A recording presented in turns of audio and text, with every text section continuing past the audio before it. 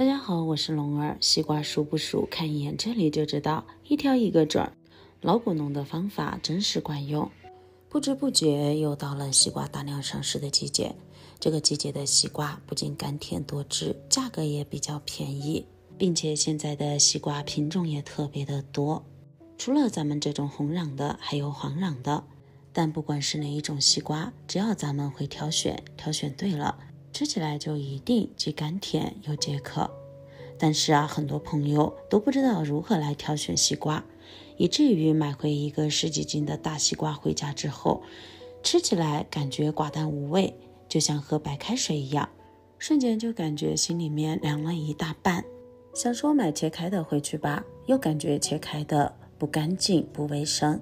那么今天就来给大家分享几个挑选西瓜的小技巧。学会之后，准保你挑选的西瓜一挑一个熟，一挑那叫一个甜。我发现啊，有些西瓜上面总会绑上一些这种的红色或者是其他颜色的绳子，但一直不知道它到底有什么用处。难道是咱们的瓜农在采摘西瓜的时候，还担心咱们的西瓜会像人参一样跑了不成，所以才会给它系上红带子吗？首先呢，我们需要看一看上面的花纹。我们可以看到，每一个西瓜它上面都有属于自己的花纹，不管是哪个品种的西瓜，它上面都会有这种的条纹，而这个条纹是连接咱们的瓜蒂和果脐的一条线。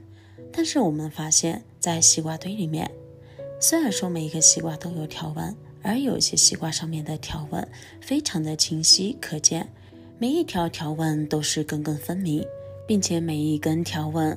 都是从咱们的果蒂连接到果体，中间不会出现任何的间断和断裂的情况。但是啊，同时我们还发现有一些西瓜，它的这条条纹会出现模糊不清，甚至是直到一小半就不见了。那么遇到这两种情况，我们该怎么挑选呢？很多朋友都不知道如何下手。那么单从花纹来看的话，我们一定要挑选。西瓜表面的花纹看起来间距基本上宽度比较均匀，而且呢，它每一条都比较清晰可见，不会出现模糊不清的情况。像这样的西瓜，它的成熟度相比来说，比模糊不清的西瓜吃起来会更加的甘甜。你要问我是什么原理，我只能说这是经验之谈，买多了你就会知道了。第二个方面，看瓜脐。瓜脐就是咱们西瓜中间这一个圆圆的部分，看上去啊，还有一点点像咱们人类的肚脐呢。我们发现不同的西瓜，它的瓜脐大小以及形状都会有所不同。那么遇到这种情况的时候，很多朋友都不知道怎么下手。说到这里啊，我就想起了小时候，我家水稻田旁边自己长了一颗野生西瓜。你别说，当西瓜收获的季节，上面还长了两三个小西瓜掉在上面呢。那个时候是我第一次知道，原来西瓜的瓜脐，也就是咱们西瓜开花的地方，直到上面的花朵凋谢掉落，就出现了瓜脐。而在我们南方，西瓜的价格是相对来说比较便宜的，一到夏季西瓜大量上市的季节，甚至卖到了两三毛一斤。那个时候。妈妈就经常说，咱们挑西瓜要挑选上面的这个小点比较小的。当时我并不知道是什么原因，因为年纪小，压根儿不懂。现在长大了才知道，原来挑西瓜脐比较小是有原因的。因为咱们的瓜脐直接连接到咱们的根蒂处，如果瓜脐比较大，那么它中间比较硬，而中间比较硬的那一部分。吃起来基本上都是寡淡无味的，那么瓜脐越大，中间的那一部分所占的比例也就越大。所以说呢，反之，瓜脐越小，中间不甜的地方的比例也就会越小。所以说呢，我们一定要挑选果脐比较小的西瓜进行购买。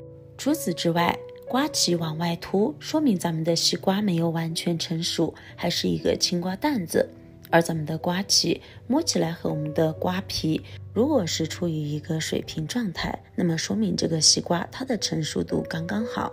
而咱们的瓜脐往里凹，甚至是凹得特别深的那种西瓜，就已经熟过头了。切开之后，你就会发现里面基本上出现了大部分的空心情况。那样的西瓜基本上没有多少水分，也被称为沙瓜。接着就是看瓜藤，瓜藤也就是瓜蒂的地方。挑选西瓜的时候，我们一定要挑选瓜蒂看起来颜色比较翠绿。颜色相对来说比较翠绿的西瓜，说明它比较新鲜。而上面出现了咱们的瓜蒂掉落或者是不见了的情况，那么很可能是那个西瓜已经不新鲜了。而我左手边的这个西瓜是买回来的时候放在车上，瓜藤被我不小心折断了，才会出现这种的情况。但是我们可以看到，瓜藤的其他地方还是比较绿的。所以说呢，说明这个西瓜还是比较新鲜的。除了看瓜藤的颜色之外，我们还要看一看瓜藤它呈现出来的形状。如果瓜藤呈直线型，不建议购买；而如果瓜藤呈这种像猪尾巴一样的波浪形，这样的西瓜吃起来就会更加的甘甜。最后一个方面就是拍一拍，听一听它的声音。成熟度不一样的西瓜，拍打出来的声音也有所不一样。一般情况下，从它的成熟度来分的话，如果是脆瓜，也就是生瓜蛋子，咱们拍起来是啪啪啪的声音，那个声音听着特别的清脆；而如果成熟度刚刚好的西瓜，我们拍打起来，它的声音里面带着一点沉闷，有一点点像敲鼓的声音。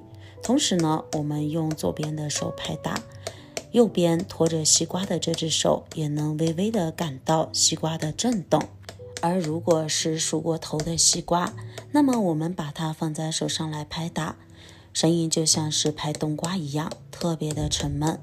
像那种的西瓜，一般情况下中间已经出现了空心，根本不会出现手部震动的情况。像我的这两个西瓜，咱们听声音就知道它们的成熟度是刚刚好的。切开来看一下，果然这个西瓜是不是皮特别的薄？里面的瓜瓤汁水丰盈，没有出现任何空心的这种情况，说明它的成熟度是刚刚好的。